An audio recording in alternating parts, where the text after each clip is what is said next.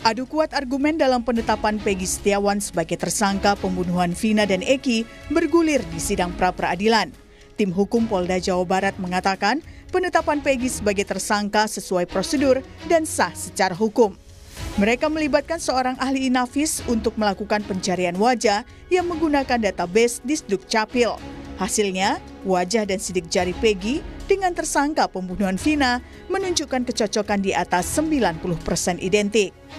Lagi kami melakukan pencocokan dengan metode pencocokan wajah base comparison satu banding satu dengan hasil di atas 90% identik yaitu mencocokkan foto wajah orang yang telah diamankan dengan foto wajah barang bukti dari hasil identifikasi wajah didapatkan kemiripan di atas 90% identik dengan data demografi dan biometrik. Perbandingan 12 titik persamaan sidik jari sesuai antara sidik jari AK23 dan database KTP elektronik Dukcapil. Namun dalam sidang kemarin polisi juga masih menyebut nama dua DPO fiktif yaitu Dani dan Andi yang sudah dihapus. Tim hukum polisi bahkan masih menyebutkan peran mereka.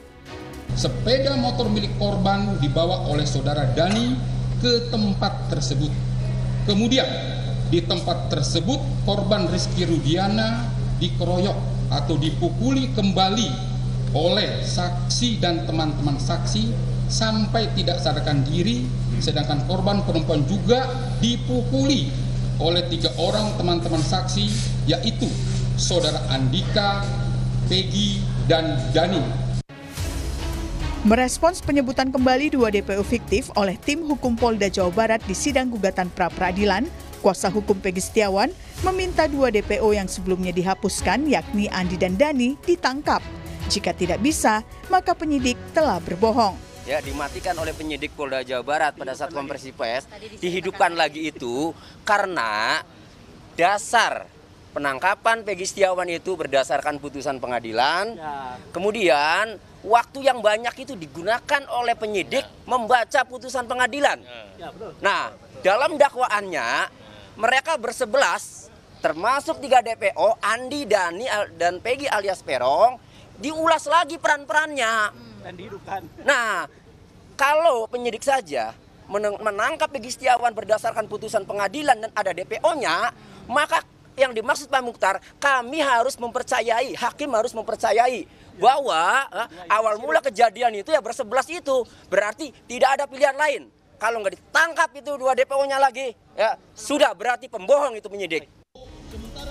Tak hanya itu, saat membacakan argumen pembelaan di hari kedua sidang pra-peradilan, kuasa hukum Peggy Setiawan juga menyebut sejumlah kejanggalan dalam penetapan kliennya sebagai tersangka. Salah satunya, Peggy tidak pernah dipanggil oleh polisi meski masuk dalam daftar pencarian orang atau DPO. Tim Liputan, Kompas TV.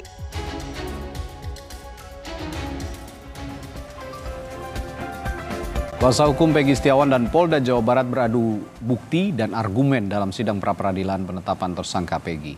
Lalu apa yang dicermati dalam sidang ini yang bisa kita cermati dari sidang ini lalu seberapa besar pula pengaruh argumen dan bukti ini nantinya dalam putusan hakim. Kita akan bahas soal ini bersama sejumlah narasumber. Ada kuasa hukum Peggy Setiawan Tony RM pakar hukum pidana dari Universitas Pelita Harapan Jamin Ginting dan pengamat kepolisian dari ISES Bambang Rukminto. Selamat pagi bapak-bapak. Selamat pagi. Ya saya ke Bung Tony dulu. Bung Tony kalau kemarin uh, sempat dengan berapi-api begitu ya, Bung Tony mengatakan ini banyak sekali keanehan dalam uh, paparan dari kepolisian kemarin di muka sidang. Nah, polisi sebut wajah Peggy dan tersangka pembunuhan Vina identik katanya, bahkan sampai 90 persen. Ada argumentasi khusus soal ini, Bung Tony? Baik, sebelum ke sana, sebagai dasar, saya ulas dulu ya. Jadi ada lima yang kami persoalkan dalam okay. uh, eh, permohonan pra peradilan. Pertama mempersoalkan penyitaan sepeda motor pada tahun 2016. Oke. Okay. Apa ada surat penetapan atau surat izin ketua pengadilan tidak? Ternyata tidak ada. Ya. Dalam jawabannya uh, penyidik tidak bisa menguraikan hal itu, tidak bisa mendalilkan hal itu. Kedua, kemudian penetapan DPO. DPO itu seharusnya tersangka, ya. Tetapi sejak 2016 sampai 2024, ya, sebelum ditangkapnya Peggy Setiawan, tidak ada penetapan tersangka terhadap tiga DPO maupun terhadap uh, Peggy, Peggy alias Perong sendiri. Saat itu Peggy alias Perong kan. Ya. Kemudian yang ketiga penangkapan. Penangkapan ini kan menurut KUHAP harus ada dua bukti permulaan yang cukup, harus ada bukti permulaan yang cukup dan minimalnya dua alat bukti. Mm-hmm. Pemahaman kami dua alat bukti itu terkonfirmasi, artinya Peggy Setiawanya itu diperiksa sebagai ya. saksi terlebih dahulu untuk mengkonfirmasi bukti itu. Tidak pernah dilakukan pemeriksaan sebagai saksi dan itu tertuang dalam jawabannya. Kemudian yang keempat, penetapan tersangka penetapan tersangka dalam putusan Mahkamah Konstitusi itu selain harus memiliki dua alat bukti, juga Peggy Setiawan harus diperiksa dulu sebagai saksi. Dan diakui oleh Polda Jawa Barat dalam jawabannya tidak pernah memeriksa Peggy Setiawan sebagai saksi, langsung saja tersangka. Dan kami pun mendapat salinan BAP, itu eh, langsung BAP tersangka. Memang hmm. pusat pendampingi langsung tersangka. Kemudian yang kelima, penyitaan dokumen ijazah, rapot, KIP, dan seterusnya tanggal 22 Mei itu juga tidak ada izin ketua pengadilan. Dilakukan izin setelahnya.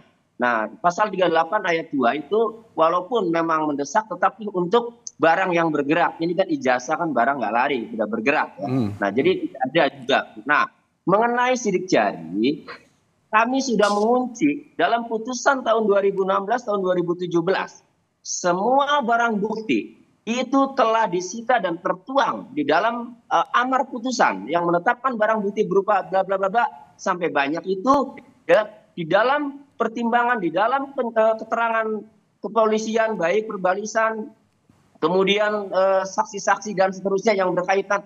Tidak ada yang namanya barang bukti dilakukan sidik jari. Tidak ada yang namanya sperma dilakukan tes DNA terutama barang bukti. Okay. Kemudian kalau sekarang mendalilkan bahwa identik sidik jarinya, kan, identik dengan dengan apa dengan barang bukti. Barang bukti yang mana itu pertanyaannya yang sidik jari? Udah di hmm. close, udah di udah diputus, sudah di in, udah inkrah, barang bukti yang dalam putusan udah inkrah. Tidak ada dalam penjelasan tiga putusan itu, baik putusan anak maupun putusan dua terdakwa maupun putusan lima terdakwa delapan itu kan tidak ada. Okay. Jadi aneh itu sidik jari dari mana? Kalau kemudian ya pernah dilakukan sidik jari ya itu beredar sudah e, beritanya diam-diam dilakukan oleh polisi itu di dalam itu pun ya e, bu, baru setelah ditangkap ya hmm. itu ada empat lembar ya sidik jari itu.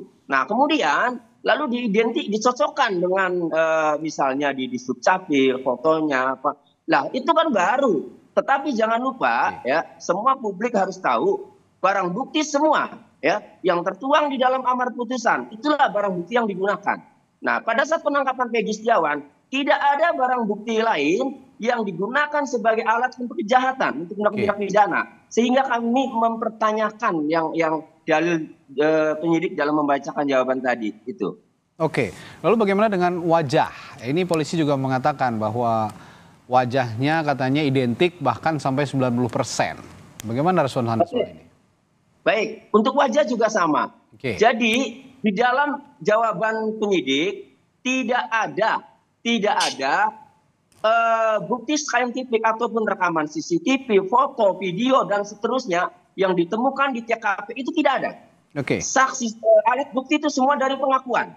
Semua dari pengakuan. Kami sudah catat pengakuan Sudirman pertama, pengakuan Aep, pengakuan uh, itu yang dua, yang lain hanya mencocokkan. Oh iya, ini kalau ciri-ciri seperti ini nih Sudirman, ini nih apa Peggy Setiawan. Sudirman mengatakan Sudirman menyatakan begini dalam kesaksiannya.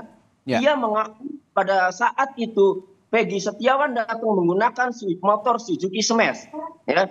Tetapi ini pembunuhan berencana bersama-sama. Ya. Hmm. Harusnya saling kenal kalau memang uh, Peggy Setiawan adalah pelakunya. Tapi ya. dalam keterangan Sudirman, dia masih mengingat-ingat jawabannya. BAP-nya ya. ada, ya. Seingat saya itu orangnya bertato, Peggy hmm. Setiawan. Hmm. Seingat saya semuanya seingat seolah-olah hanya ya. hanya menebak-nebak saja. Padahal kalau memang pelakunya itu adalah Peggy Setiawan, Sudirman langsung saja ketika dia, oh iya ini pelakunya ini yang berperan ini. Itu tidak. Sehingga kami ragukan juga Sudirman itu. Itu yang terjadi ya yang tertuang di dalam uh, jawaban yang dibacakan oleh penyidik Polda Jawa Barat. Jadi okay. foto itu ya foto itu identik. Foto yang diambil setelah kejadian foto yang hajatan yang ditunjukkan oleh Kadif Humas Polri yang beredar itu ya kemudian dicocokkan dengan foto yang yang sekarang mau ke mana pun dengan teknologi mana ya benar itu Peggy Setiawan kalau dicocokkan pertanyaannya apakah ya. Peggy Setiawan pelakunya kan belum tentu okay. tidak ada bukti statistik ya yang menunjukkan Peggy Setiawan adalah pelaku berada di TKP dan seterusnya itu okay. tidak ada. Oke. Okay. Ya, apakah benar Peggy Setiawan atau Peggy alias Perong yang dimaksud begitu ya, yang selama ini juga ada tertuang dalam uh, putusan pengadilan tahun 2017 lalu.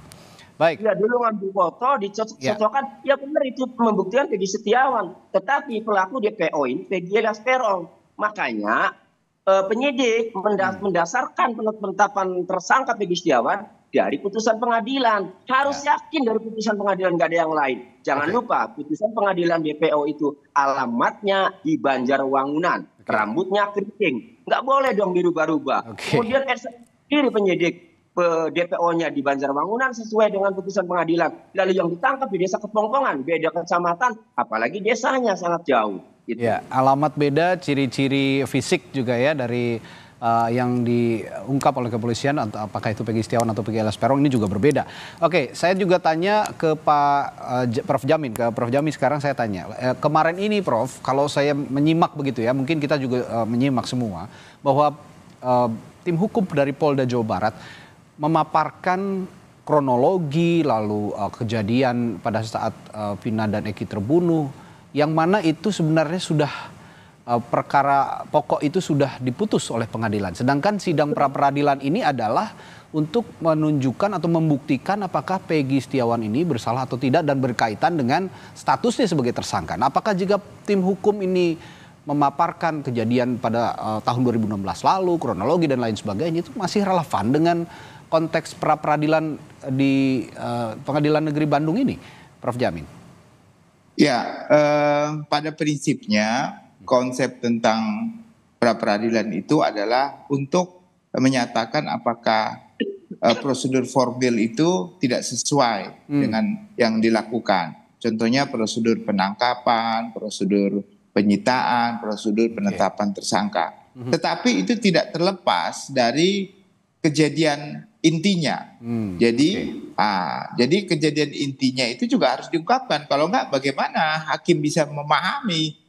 Penetapan tersangka itu benar atau tidak kalau nggak pokok perkaranya dijelaskan juga maka pada setiap proses peradilan itu baik penasihat hukum maupun dari penyidik tetap menyampaikan tentang kronologi perkaranya. Oke. Okay. Nah itu itu wajar itu ya okay. kronologi perkara disampaikan. Nah dari kronologi perkara itu ketahulah siapa diduga pelakunya tersangkanya. Dari tersangka itu diduga alat buktinya dari alat bukti itu maka ditunjukkanlah bahwasanya sebenarnya khususnya ya kalau dalam penetapan tersangka ini kan berdasarkan putusan MK21 saja awalnya nggak ada. Okay. Kalau orang mau menetapkan tersangka mau nggak mau harus dijelaskan apakah perbuatan apa yang dia lakukan sehingga ditetapkan sebagai tersangka. Okay. Nah itulah yang dijelaskan dalam pra peradilan itu apakah benar nggak dua alat bukti yang cukup sebagaimana dimaksud 184 itu sudah diada oleh penyidik sehingga dia bisa ditetapkan tersangka. Saya mengomentari terkait dengan penetapan geometri wajah ya Oke. dan pembandingan Selamat, itu. Ya begini, jadi kalau dalam sistem common law itu scientific crime investigation kalau menetapkan wajah itu harus ada pembandingnya. Hmm. Nah, pembandingnya itu dari mana datangnya? Pembandingnya itu disampaikan oleh saksi yang melihat dia pada saat itu melakukan kejadian, tapi orangnya nggak bisa ditemukan. Hmm. Lalu dibikinlah sketsa wajah dari orang yang ditemukan itu. Dari sketsa wajah itu akan ditampilkan minimum 4 sampai 5 orang okay. untuk menentukan siapa. Dihadapkan ya. Kita sering kan lihat-lihat film-film begitu ya. ya Dihadapkan di kaca, di kaca lalu nanti gitu. ya orang fakta yang melihat yang agak mirip dari sketsa itu akan menunjuk kemungkinan yang mirip itu adalah salah satu dari mereka. Hmm. Nah, orang itulah yang nanti akan ditanyakan dan dicocokkan dengan DNA. Oke. Okay. Dan itu. Jadi nggak yeah. bisa tiba-tiba dari sketsa wajah yang dicoret-coret begitu hmm. tidak ditampilkan lalu menunjuk satu orang. Yeah. Itu nggak bisa. Okay. Ya, langsung harus ada pembanding ada begitu ya, Prof?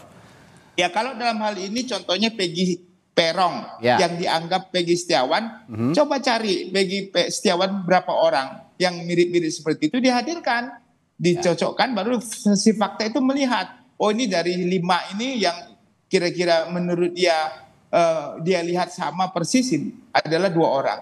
Kejadian ini kan kejadian bersama-sama, boncengan bersama-sama, Iya. kelompok bersama-sama. Betul. Saya kira nggak nggak begitu sulit Nggak untuk sulit. bisa menentukan. Karena oh, satu sama lain pasti begitu. mengenali begitu ya. Pasti, ya kan sudah akrab Ya, sebelumnya. betul, Sebelum betul. kejadian kan mereka sudah sering kumpul Ya. ya, sering makan, sering minum mungkin begitu ya. Ya. Jadi sketsa wajah itu sebenarnya nggak diperlukan lagi, Hmm. harusnya begitu ya. Nah kalau geometrik didasarkan kepada KTP yang sudah pernah disita dalam penyitaan dan dicocokkan dengan sidik jari yang diambil pada saat setelah KTP diambil atau kakak, ya itu jangankan 99 persen, 100 persen ya pasti identik lah begitu. Ya kalau Ya. memang dia orangnya yang dia ambil sidik jarinya, diambil KTP-nya, nah itu pasti 100 persen identik gitu.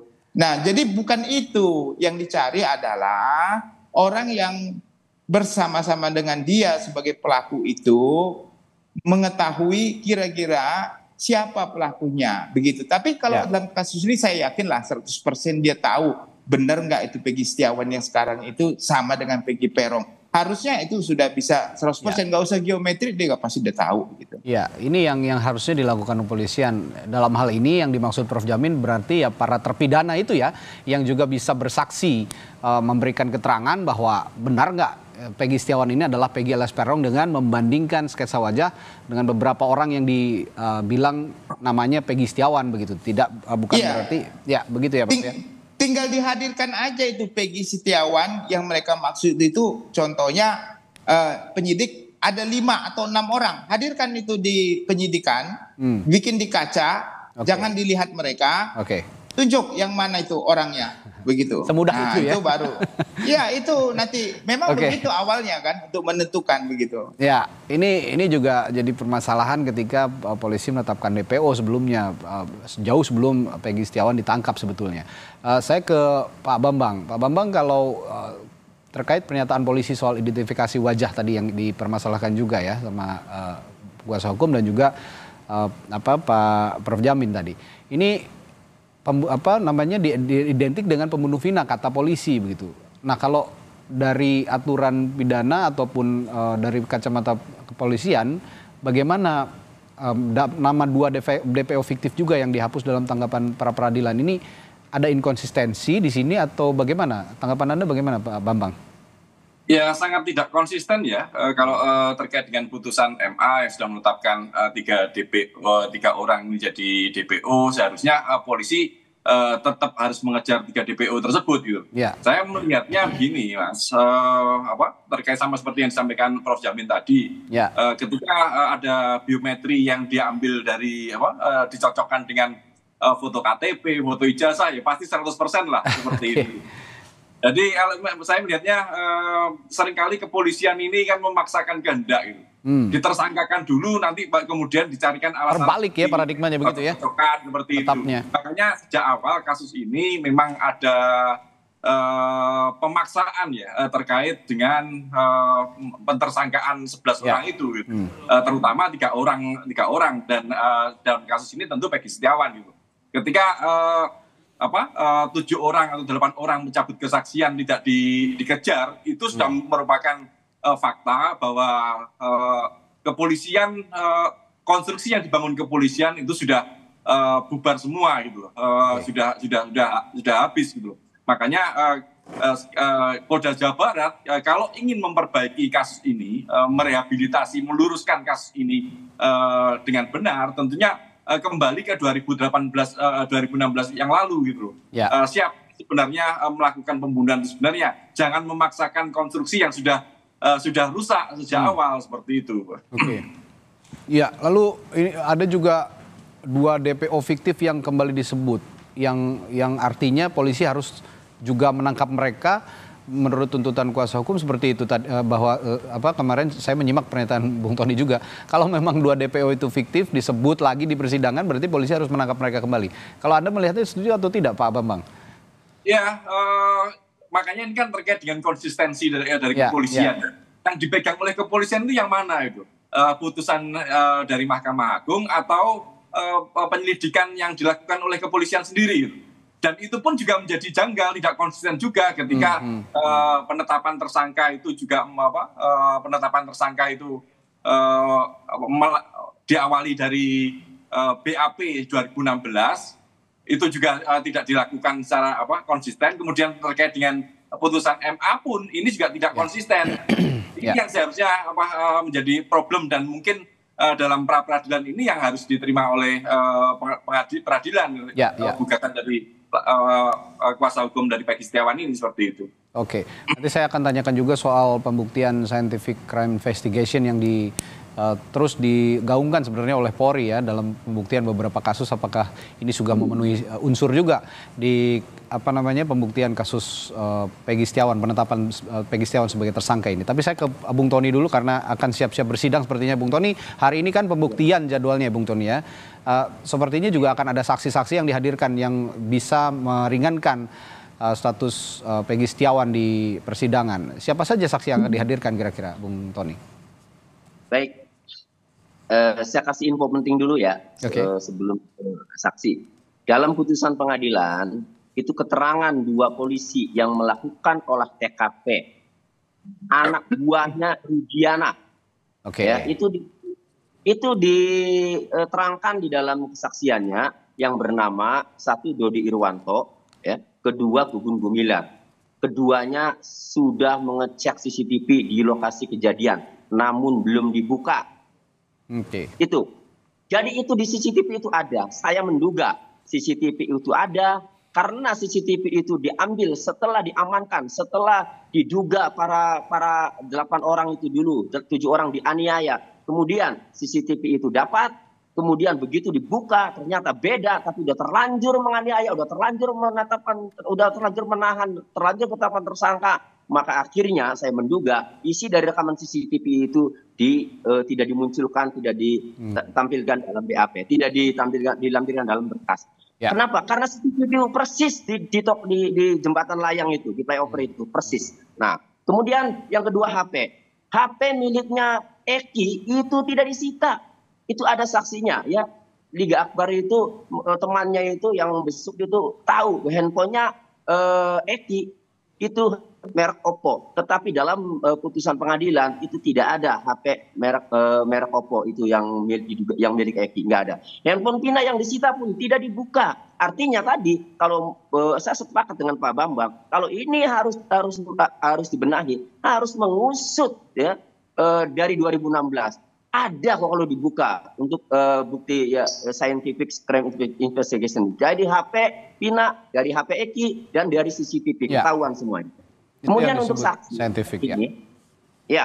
Kemudian untuk saksi hari ini hmm. kami menyiapkan uh, rencana lima saksi nih kalau hadir semua, okay. ya. Saksi itu terkait saksi yang mengetahui pada saat kejadian dalam kurun waktu dari uh, Juli sampai November Desember itu berada di Bandung bagi Setiawan, termasuk majikannya yang punya rumah yang mempekerjakan Peggy Setiawan dan bapaknya. Itu kami hadirkan suami istri. Nah, karena beliau menerangkan bahwa Peggy Setiawan itu bekerja sampai selesai sampai akhir November dari bulan dari awal Agustus. Sementara kejadian tanggal 27 Agustus. Ini akan kami hadirkan. Selain itu juga teman kerjanya ya, teman kulinya. Dan okay. uh, ada di pidana yang rencananya hari ini kami mau hadirkan juga. Oke, artinya ada lima saksi ya nanti yang akan um, memperkuat argumentasi bahwa Peggy Setiawan ini bukanlah tersangka yang dimaksud pihak kepolisian. Terakhir dari uh, untuk anda, Bung Tony, dari kelima saksi yang dihadirkan, lalu juga dengan uh, apa namanya uh, gugatan pra peradilan ini, anda masih optimistis Peggy Setiawan bisa terbebas dari status tersangkanya? Optimis, karena yang terpenting itu tadi syarat formil yang harus dilakukan oleh penyidik dalam putusan Mahkamah Konstitusi nomor 14 tahun nomor uh, 21 tahun 2014 uh, di, di, di, disebutkan bahwa selain memiliki dua alat bukti yang termuat di dalam pasal 184 KUHP ya eh, Peggy Setiawan atau orang yang dimaksud itu harus diperiksa dulu sebagai saksi. Oke. Okay. Nah, tertuang di dalam jawaban dan dibacakan jawaban penyidik kemarin menanggapi eh, permohonan pra peradilan kami menjawab gugatan kami itu jelas sangat jelas tidak pernah memeriksa Peggy Setiawan sebagai saksi. Ya. Padahal ya DPO-nya juga berbeda. Artinya Hmm. kalau berbeda, kami menganggap seharusnya Peggy Setiawan ini dicurigai Peggy alias Peron. Kenapa tidak dilakukan penyidikan dulu, diperiksa dulu sebagai saksi, di, di, di- diperiksa dulu semuanya. Ini tidak, dan itu sudah eh, diakui dalam jawabannya memang tidak pernah menerima apa mer- memeriksa Peggy Setiawan sebagai saksi. Ini artinya kami optimis pada prinsipnya itu. Kami optimis secara formal tempuh seperti gugatannya Pak Budi Gunawan. Kenapa Pak Budi Gunawan dulu praktik jadi dikabulkan? Karena eh, waktu yang begitu cepat mau jadi Kapolri disikat jadi tersangka, kemudian Hmm. diprapit dikabulkannya karena Pak Budi Gunawan tidak pernah diperiksa sebagai saksi, langsung saja ditetapkan tersangka.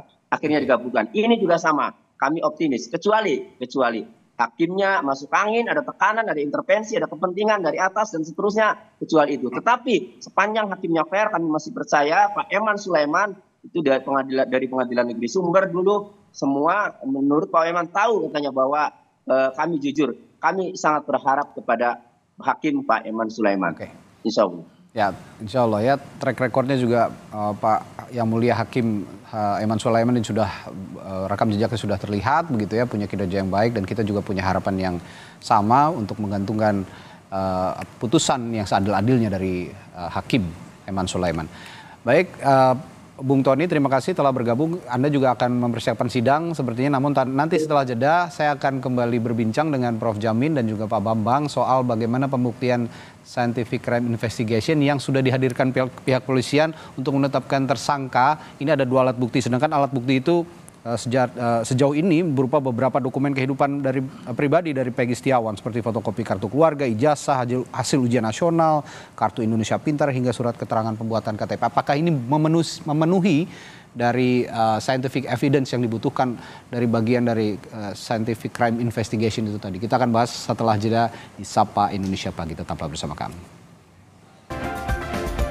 Kami lanjutkan perbincangan di Sapa Indonesia Pagi bersama dengan pakar hukum pidana dari Universitas Pelita Harapan Profesor Jamin Ginting dan pengamat kepolisian dari ISES Pak Bambang Rukminto. Saya ke Prof Jamin dulu. Prof Jamin beberapa hari lalu Anda sempat menyinggung soal uh, scientific evidence begitu ya dan kemarin sudah diungkap di persidangan juga oleh pihak Polda Jawa Barat dari tim hukumnya bahwa bukti-bukti yang diajukan ini seputar uh, apa beberapa dokumen kehidupan pribadi dari Peggy Setiawan. Apakah ini juga sudah menjadi bagian dari scientific evidence yang juga merupakan bagian dari uh, pembuktian scientific crime investigation itu tadi? Prof Jamin. Ya, begini saya mau jelaskan dulu ya. Hmm. Terkait dengan uh, scientific crime investigation, itu suatu cara untuk mengungkap suatu tindak pidana, khususnya tindak pidana yang uh, deliknya material seperti pembunuhan, penganiayaan ya dan lain segala macam itu, itu menggunakan uh, suatu cara-cara scientific. Scientific itu artinya apa? Menggunakan cara-cara ilmiah Ya. ya. Nah ilmiahnya itu apa? Contohnya otopsi matinya orang itu karena apa? Lalu di dalam tubuh itu ada apa? Yang kaitannya dengan pelaku ya, yang Ya. kaitannya dengan pelaku. Contohnya dalam kasus inilah, Insi dalam kasus ini. Contohnya mohon maaf, Vina dikatakan diperkosa, kan ada ceceran sperma di situ, atau di bajunya itu ada perlawanan, berarti ada rambut pada saat itu. Hmm. Nah sayangnya kelemahan kita penyidik kita adalah pada saat kejadian korbannya fresh, masih fresh ini korban, dia tidak melakukan eh, suatu cara-cara scientific investigation tadi itu. Nah kalau itu clear Ya. pada awalnya, contohnya tadi CCTV, handphone, itu semua bagian dari crime investigation, scientific crime investigation. Nah, kenapa nggak diungkap itu semua begitu? Berarti kan ada tanda tanya besar di masyarakat. Tadi Mas Tony bilang kemungkinannya orangnya kan bisa tidak langsung Ya. live pada saat itu. Kenapa nggak ada? Apakah ada kecenderungan kita lihat kasus-kasus polisi-polisi kemarin itu dihapus ya sampai ada obstruction of justice. Bisa-bisa ini yang menghapus kalau kemungkinannya ada bisa kena oh, obstruction of justice juga ini. Ya. Bisa dilaporkan juga kan begitu kan. Kalau benar memang sengaja menghapuskan barang bukti begitu ya. Oke. CCTV itu. Ah, jadi ini yang harusnya dilakukan Nah kalau mengenai geometri wajah, saya sudah sampaikan tadi pembandingnya apa? Hmm. Pembandingnya adalah pada saat kejadian ya, bukan pembandingnya setelah orangnya ditangkap lalu dipaksa contohnya untuk uh, membuat sidik jari lalu sidik jarinya oh iya sama dengan sidik jari pelaku fotonya ya, ya. pastilah itu sama kan begitu. Jadi jangan ini menjadi uh, fireback ya keterangan-keterangan ini bagi eksistensi kepolisian yang kemarin baru berulang tahun ya tanggal 1 Juli. Jadi ini harusnya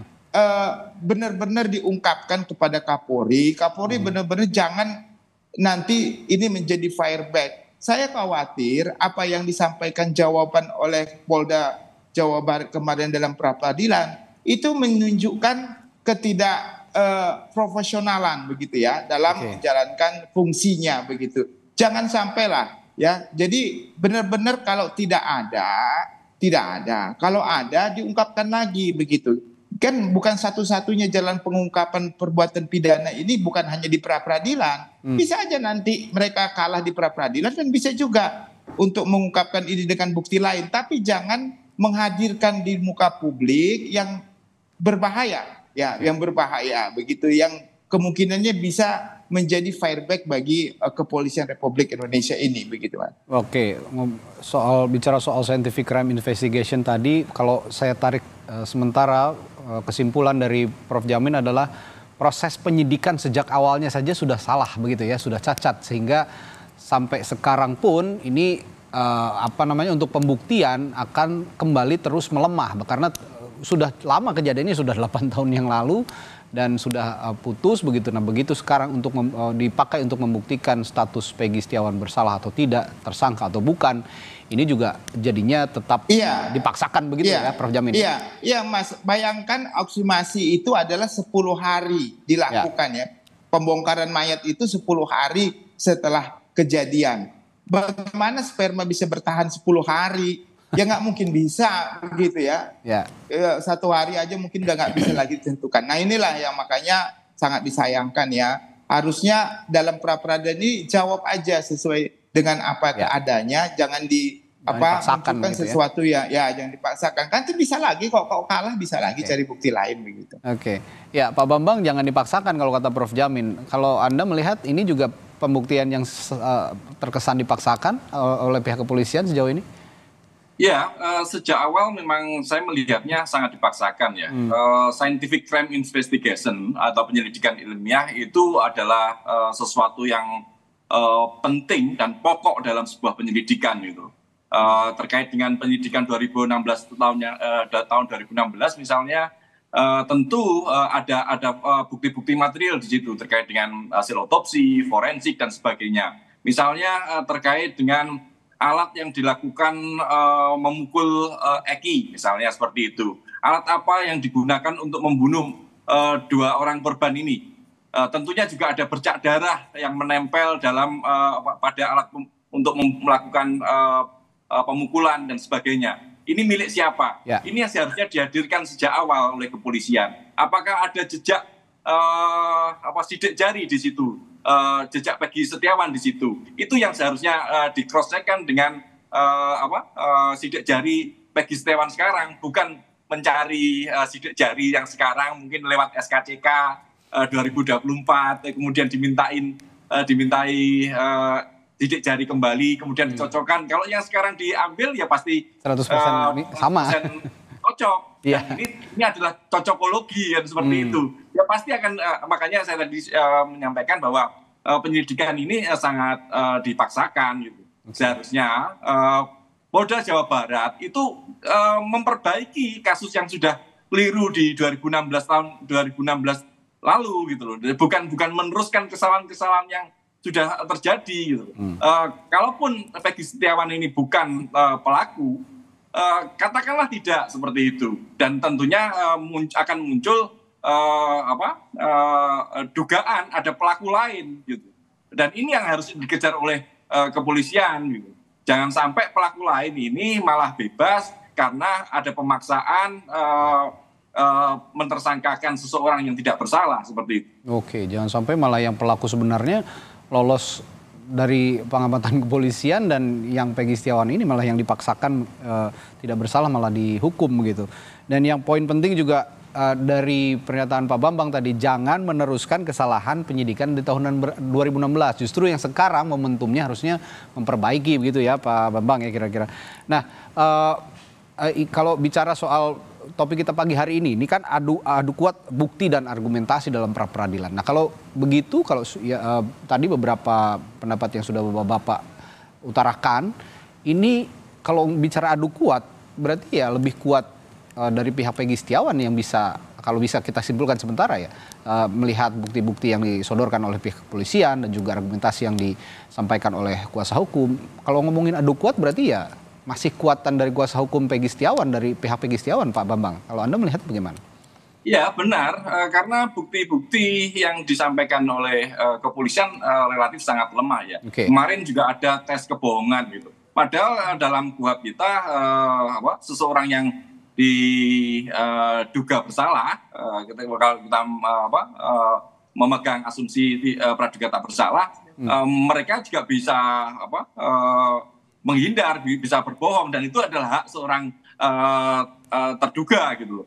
Makanya ya. kalau kemudian uh, muncul tes kebohongan dalam rangka apa tes kebohongan itu gitu loh. Oh mereka mereka uh, tersangka ini memiliki hak untuk uh, ingkar seperti itu. Makanya uh, uh, malah yang muncul adalah upaya yang dilakukan kepolisian ini framing bahwa uh, tersangka ini harus bersalah seperti itu. Makanya ke depan seharusnya tidak ada upaya pemaksaan-pemaksaan seperti ya. ini.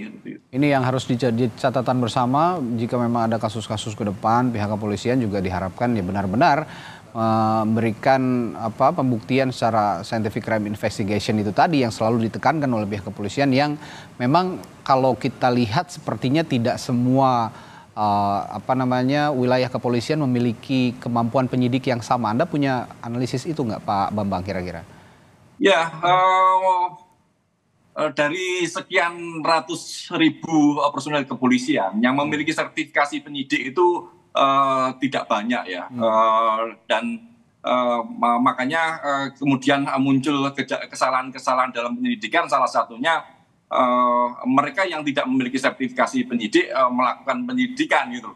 Uh, akhirnya muncul subjektivitas-subjektivitas yang dipaksakan subjektivitas ini uh, bisa muncul karena uh, apa kepentingan uh, pribadi, bisa kepentingan dari uh, intervensi dari uh, apa uh, dari pihak lain.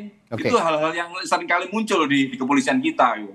Makanya uh, memang ini juga terkait dengan uh, integritas personil kepolisian ya. ya. Uh, makanya uh, terkait dengan integritas kepolisian ini uh, mumpung HUT Bayangkara kemarin diperingati. Ya, jadi momentum ya. jadikan momentum untuk Betul. berbenah bagaimana uh, memastikan bahwa integritas personil ini benar-benar tegak lurus dan menjadi uh, anggota kepolisian yang profesional seperti itu. Baik. Baik, hari ini agenda pra peradilan adalah pembuktian. Nanti akan juga ada pembuktian dari kuasa hukum Peggy Setiawan, lalu juga dari tim hukum Polda Jawa Barat. Siapa yang lebih kuat, adu bukti, uh, uh, adu kuat bukti dan uh, argumentasi ini kita akan saksikan sama-sama nanti untuk uh, kita juga nanti perbincangan kemudian hari di, di, di ya. esok hari yang yang uh, masih ada juga sidang lanjutan dari pra peradilan. Terima kasih. Pakar Terima kasih. Hukum Pidana dari Universitas Pelita Harapan, Pak Profesor Jamil Ginting, semua. dan juga dari pengamat kepolisian dari ISES, Pak Bambang Rukminto. Terima kasih, sehat selalu Bapak-Bapak. Salam sehat juga.